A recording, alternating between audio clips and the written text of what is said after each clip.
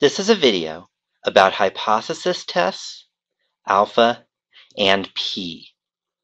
The question states, Tony's Pizzeria's staff can accommodate 65 customers per hour. Tony suspects that his mean customer load differs from 65. He performed a hypothesis test with alpha equals 0.05 and came up with a p-value of 0.18. State the two hypotheses, interpret alpha and p, and state the conclusion. So let's start out with the null hypothesis. We're testing the claim that the mean customer load differs from 65. So since we have a mean, the null hypothesis, H naught, is going to be mu is equal to and then 65 because that's the claim that we're testing because it's different from 65. Now for the alternative hypothesis, the key word here is differs from. So when you see differs, the inequality is not equal to.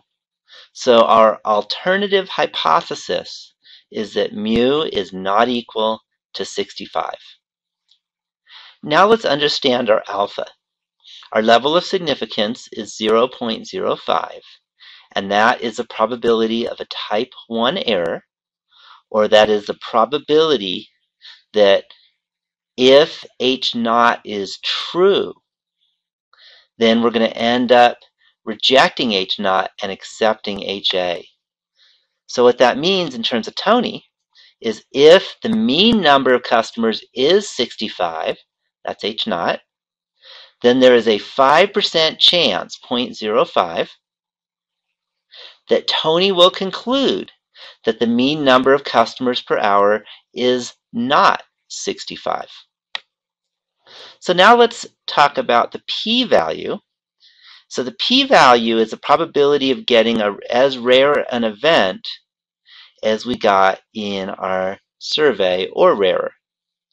So in particular, we always say that if H naught is true, how likely it is that we get such a rare event. So we can say if the mean number of customers per hour is 65, that's H naught, and if we sample the same number of hours repeatedly, we're going to take many samples of the same size, then 18%, that's our p-value, of the samples will result in a sample mean farther from 65 than the sample mean that Tony obtained. So Tony obtained some sample mean, I don't know, it might have been 69, and we want to see what's the probability that we would get something bigger than 69, or on the other side of the tail, less than 61, because that would be four away on either side. And that would be our p-value. So now let's state our conclusion. So our conclusion is, well, we have p is equal to 0.18, and that's certainly bigger than 0.05, which is alpha. And when p is bigger than alpha, we fail to reject the null hypothesis.